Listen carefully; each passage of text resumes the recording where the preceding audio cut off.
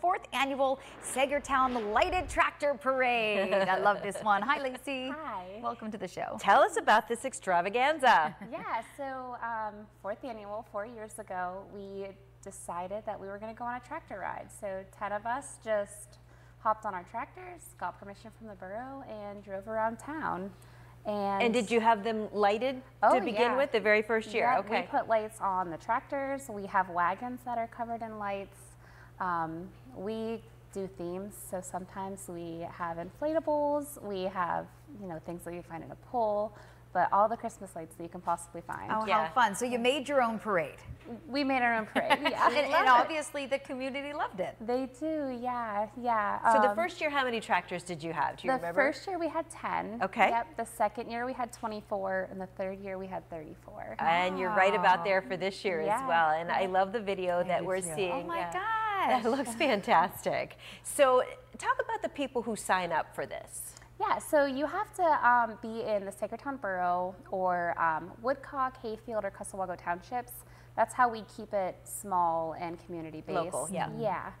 Um, we, we just have a lot of local farmers and a lot of people who are kind of crazy. I mean, it gets cold out there. It's in the evening. You gotta so- keep it Yeah. fun, right? Yeah, yeah. Are they all farm equipment, or do you have some little lawn tractors? Or Um, only tractors. Yeah, we don't like doing lawn mowers because sometimes they're a little slow or they break down. okay, yeah. Yeah. Good point. So what's the theme this year? Or does everybody do their own theme? There is no theme. Okay. Yeah, sometimes people assume lighted um, around Christmas. They think there's a Christmas theme, but but there's there's no theme. Do whatever you want. Yeah. I love this. I know.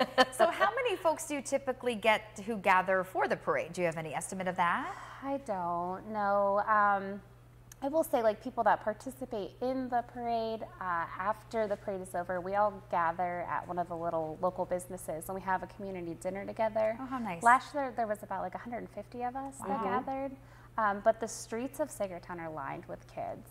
Oh, And, sure. Yeah, my favorite my favorite part of the whole parade is just seeing like the awe on their face Yeah. when you're walking out past. They don't care about the candy. I was going to say, you toss out candy because it is nighttime. Yeah. yeah. Yeah, we pass out candy, but they're just so like shocked and in Mm-hmm. awe and just mesmerized by the tractors. They Yeah. don't care about the. Little kids love tractors anyway, Right. and then when you cover them in lights and Oh, yeah. some Christmas Yeah. stuff, it just seems really fun. Uh, what time will this be happening next Saturday? Next Saturday it starts at 6:30. Okay. Yep. And talk about the route. Yeah, so we start um, at the Giles Farm on Brookhauser Hill.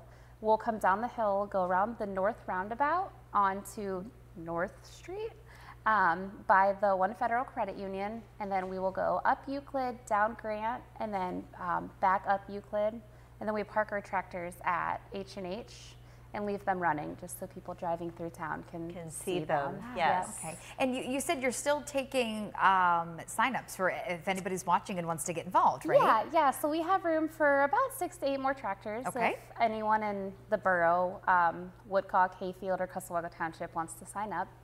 And then I just wanted to like let the community know that um, Saegertown United Methodist Church, one of our local churches, um, they started doing like a Winter Fest last year. Okay. So at 4:30 they have um, crafts, Oh, free great. Oh, food, fun. free Beforehand. beverages, Santa Claus, and then our credit union